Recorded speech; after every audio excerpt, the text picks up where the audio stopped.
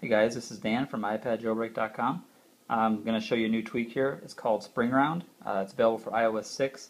And uh, if you guys want to keep subscribed to our videos, uh, there's a on our website you can click right here to subscribe.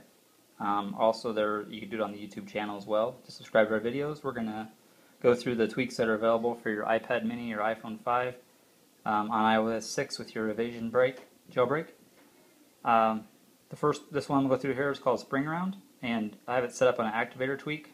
It just pulls up, it pulls up my, I have a barrel theme for my swiping here, so kind of it fades away and fades back. But as you can see, I'm, i can scroll right through my icons. And uh, the only way to exit this is I can push the home button and it'll exit back out, or I can select something. So I swipe on the left on the status bar, and I can pick Alien Blue here. Again, it's kind of like the ultimate app switcher. I can jump right to Cydia. Can go ahead and show you where it is. You just go out here, out here, search Spring Round.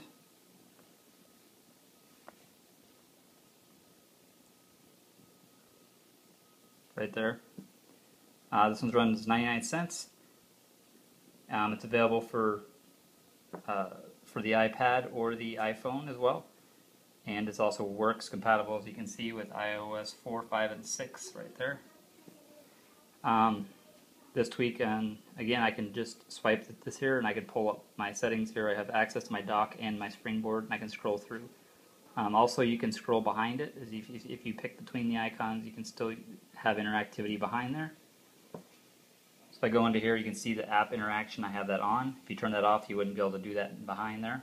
Um, you, you can activate or select any of your apps from right from there.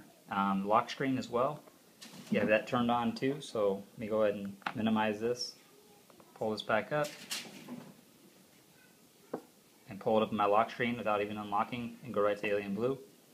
Or I can go again, jump right to settings. You might not ever see your wallpaper again yeah. if you have this thing set up. So uh, go ahead and drop a comment here on iPad Jailbroken YouTube channel or head over to our website at iPadjailbreak.com. Thanks guys.